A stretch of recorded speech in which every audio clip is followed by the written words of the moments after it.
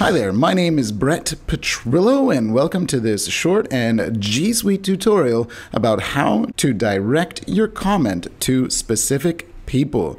So I have taken us into a Google Doc as you can see and I perhaps feel that this paragraph here has not been done well. Perhaps it's a little bit wordy and I want to comment to the person that wrote it, not just everybody. I want to make sure that the person that wrote it gets my comment. So first of all, in order to comment in a Google Doc, you have a couple options. You can select the passage that you want to comment on. And you'll see here that the little comment, add comment box pops up. Otherwise, head up here to comments and take a look at the entire thread. And you can also click on comment from there.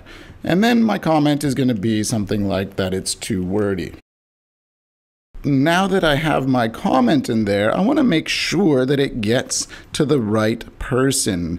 There may be several editors on this document, so I want to make sure that the person that was responsible for this paragraph actually gets it. And what I can do right here within my comment screen is hit the plus sign, and then you see that all these email addresses pop up. So you'll get some options from your contact list. I'm going to send it to myself. Now it's embedded into my comment. And when I hit the blue comment button, that person will receive an email with the comment inside of it. So they make sure, or you can make sure that they get that feedback that you're giving them. So you can see how this could be very beneficial in a classroom setting. I can also go one step further and I can assign it to that person. That means that when I click it, the person will be notified as being responsible for making sure that whatever, whatever it is you have commented on gets done. And then you can hit the button assign. Similarly, you can do the same in Google Sheets. You can choose whatever it is that you want to comment on and go up here to comments hit comment, type in your, your feedback,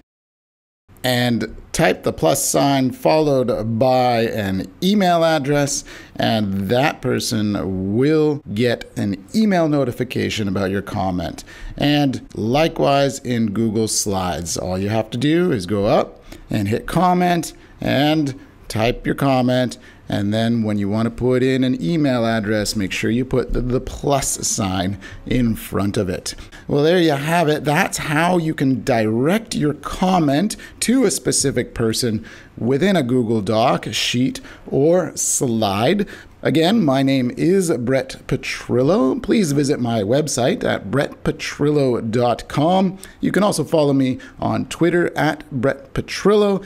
And of course, you can subscribe to my YouTube channel. Thank you very much, and I'll see you in the next video.